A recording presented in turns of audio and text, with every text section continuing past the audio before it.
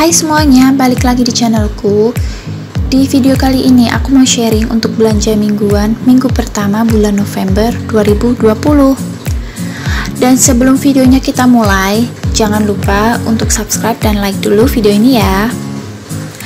Kalian apa kabar? Semoga kita semua dalam keadaan sehat dan rezekinya selalu lancar ini aku lagi di pasar aku lagi ngantri beli ikan lele. Karena sebelumnya aku cari ikan gurame tapi habis.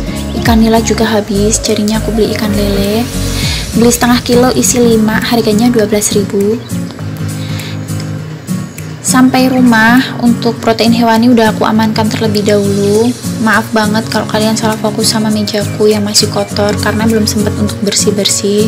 Jadi pulang dari pasar itu aku langsung uh, bikin sarapan bikinin bekal suami kemudian ngurus anak.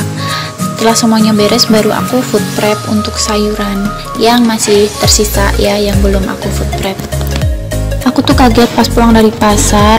Aku pikir di pasar tuh aku bakal habis sekitar 100 ribuan cuman untuk di pasar aja ya belum roti tawar. Karena kalau roti tawar aku biasanya beli di minimarket.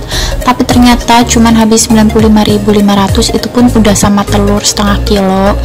Jadi untuk roti tawarnya suamiku tuh kemarin beli untuk sebulan sekalian.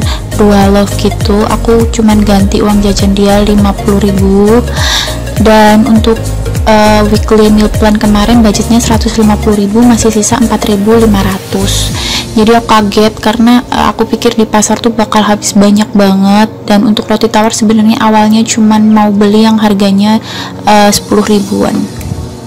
Kemudian aku juga beli kangkung. Ini seperti biasanya aku belah bagian batangnya biar nanti kalau ada hewan-hewan yang tidak diinginkan tidak ikut kemasak apalagi sampai kemakan. Beli ya kalau misalnya pas lagi makan terus di sayurnya ada hewan-hewan gitu. Makanya harus dibelah kayak gini untuk memastikan bersih dan aman.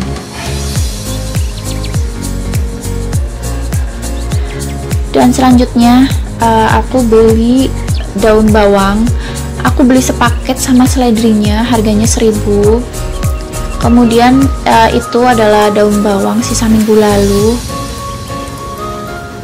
Nah di atas daun bawangnya ini aku kasih alas kertas lagi. Buat tempat seledri jadi seledrinya aku jadiin satu tapi tetap dipisah sama kertas biar nggak kecampur aja sih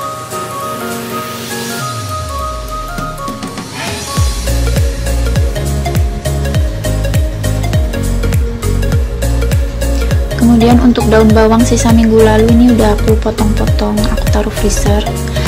Dan ini aku beli bawang merah bawang putih. Yang bawah itu sisa minggu lalu masih lumayan ya sisanya. Kemudian aku juga beli kemiri. Aku beli seribu aja. Itu aku pakai toples bekas selai yang udah nggak kepakai aku cuci bersih aku keringin terus aku uh, pakai untuk tempat kemiri dan ini semua belanjaanku. Aku beli pepaya 8500 kemudian pisang itu harganya 7000 ada terong ada labu siam juga. Pengen beli eh pengen bikin sayur lodeh terus aku beli kubis. Ini aku ada buncis bayamnya jadi dua tempat. Ada cabai merah cabai hijau cabai rawit. Terus itu seledri dan daun bawang yang harganya cuma 1000 aja. Lumayan ya dapatnya. Terus kangkung juga jadi dua wadah. Ini wortel.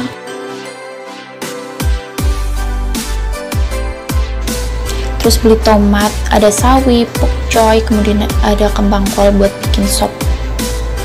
Aku beli tahu putih ini isinya 14 harganya cuma 4000 aja. Terus beli kacang panjang juga pengen bikin tumis kacang panjang terus ada bawang merah bawang putih ada kemiri juga. Terus aku beli ikan lele yang setengah kilo isi 5 tadi aku jadiin dua wadah. Udah aku kasih jeruk biar nggak amis. Terus ada ati ayam aku beli 10.000 isinya 4 biasanya dapat 5 cuman tadi kan ati ayam di mana-mana habis. Sisa di satu tempat jadinya cuma dapat empat. Mungkin uh, karena kesiangan aku beli kerupuk harganya 5000 terus ini aku beresin uh, kulkasnya. Aku lap-lap terus aku tata di dalam kulkas. Untuk ati ayam tadi memang belum aku olah ya. Jadi itu sampai di rumah langsung aku cuci bersih. Aku taruh uh, di freezer dulu. Setelah itu baru aku videoin. Dan setelah video ini aku baru ungkap jadi itu belum diapa-apain belum direbus belum diilangin yang nggak perlu kayak apa ya lemak-lemaknya gitu. Itu belum aku ilangin. Setelah bikin video ini langsung aku ungkap terus bisa buat lauk anakku. Nah ini kayak gini untuk penataan dalam kulkasnya. Dan aku beli telur setengah kilo isinya 8 harganya itu 11.000 cuman karena nitip suami jadi aku uh, cuman ganti 10.000 uang jajan dia. Terus ini beli roti tawar import. Jadi suamiku juga yang beli harganya 66.000 Uh, suamiku baik banget aku cuman uh, ngeganti uang jajannya dia 50.000 dari harga 66.000 jadi kalau untuk roti tawar ini dia bisa awet di freezer. Aku baca-baca sih sampai 6 bulan ya cuman ini buat stok satu bulan aja kalian bisa simpan uh, di plastik kertas atau aluminium foil yang jelas harus kedap udara. Jadi kalau untuk roti tawar itu akan busuk atau berjamur kalau kita simpan dalam waktu yang lama tanpa dibekukan di freezer.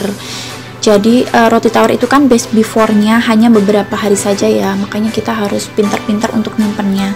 Di sini mending disimpan di freezer kalau kalian mau uh, nyimpan roti tawar untuk jangka waktu yang lebih lama dan ini shopping listnya aku centang-centangin gitu yang udah kebeli semuanya.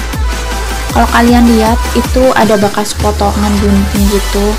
Ya itu emang aku gunting aku bawa ke pasar terus sampai rumah aku selotip lagi bagian atasnya. Jadi satu lagi. Bermanfaat banget kan weekly meal plan yang kemarin aku buat. Dan ini semua belanjaan aku. Oh iya uh, kalian BTW kalau misalnya belanja mingguan kayak gitu bawa shopping list juga nggak sih kayak aku? Kalian boleh komen di bawah ya. Emang bermanfaat banget sih bawa shopping list. Jadi kita tuh uh, sampai pasar itu nggak bingung mau belanja apa. Dan kalau kalian uh, kepo soal weekly meal plan aku kalian bisa cek di video aku.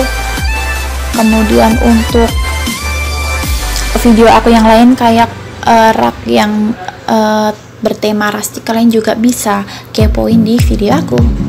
Dan segini dulu video dari aku. Semoga kalian suka semoga bermanfaat semoga bisa menginspirasi. Jangan lupa subscribe like comment dan share video ini ke seluruh sosial media kalian ya. Terima kasih sudah menonton and I'll see you guys on my next video.